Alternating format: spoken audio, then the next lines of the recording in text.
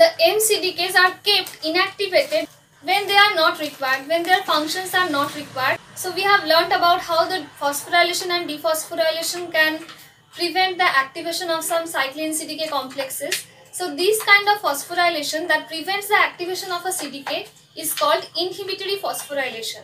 So inhibitory phosphorylation means the phosphate groups are attached to the protein in such a in, in such a manner that this prevents the activation of that cyclin CDK complex. MCDKs are basically kept inactivated in the cell cycle by inhibitory phosphorylation. So inhibitory phosphorylation inhibits the activation of MCDK, inhibits the binding of MCDK with its partner cyclin.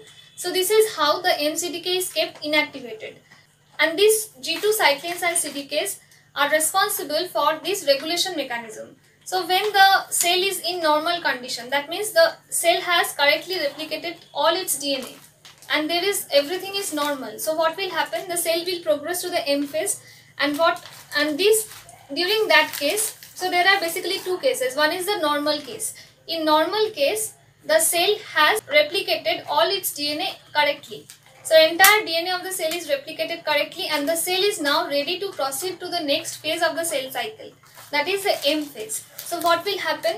This inhibitory phosphorylation must be removed in order to activate the MCDK because MCDK is responsible for progression into the M phase. So MCDK must be activated prior to M phase and this activation of MCDK occurs by dephosphorylation of these phosphates.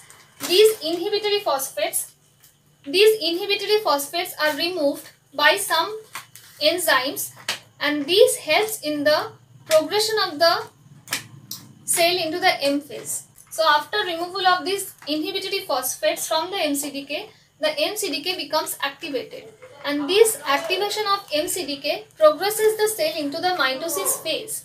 So this event is a very crucial event and this is carried out during the normal phases. In normal condition what happens? The cell enters mitosis by removal of these inhibitory phosphates on the MCDK and these inhibitory phosphates are removed by the help of a phosphatase.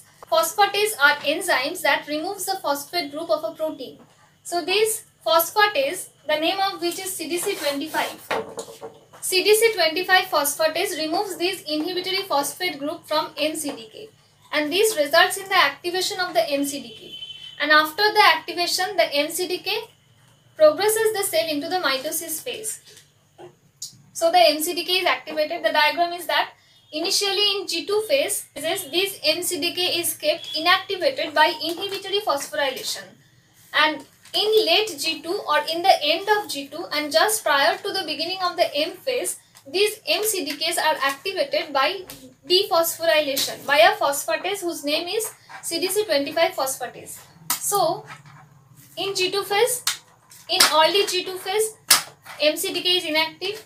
Then comes the CDC25 phosphatase. It removes the phosphate group and MCDK becomes activated and helps in the progression of the cell into the M phase of the cell cycle.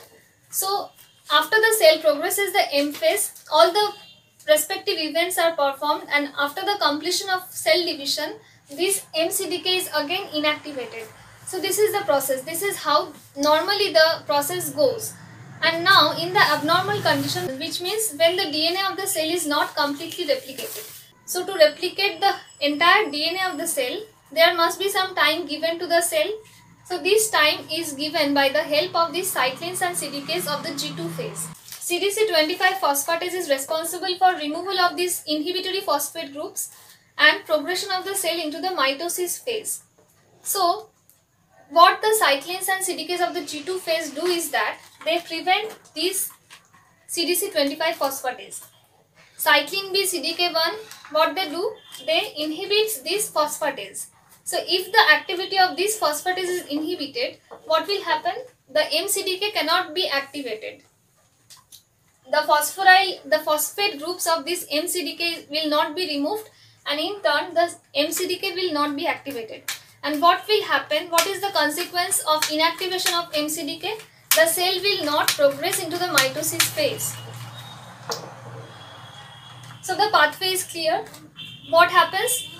Then the thing is that MCDK which is kept inactive in the G2 phase of the cell cycle becomes activated in late G1 or in, during just prior to the beginning of the M phase.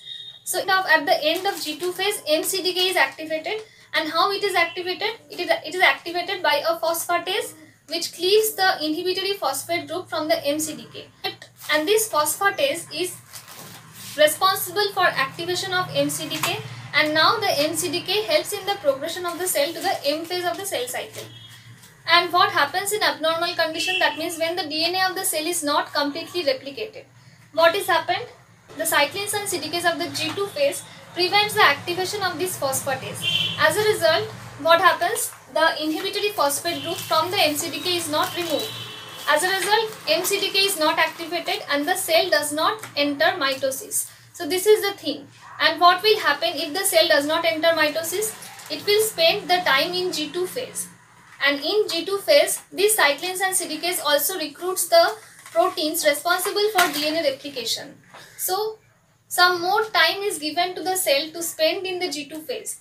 And this time will be utilized by the proteins that will replicate the DNA, that will completely replicate the DNA.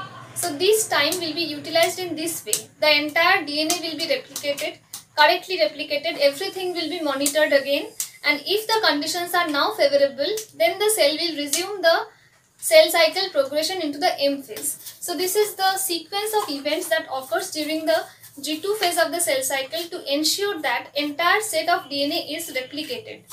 And if there is any incomplete replication, the cell cycle progression stops and the process is rectified and once the entire thing is correct everything is going correct then only the cell enters the mitosis phase and then cell division occurs so this is the process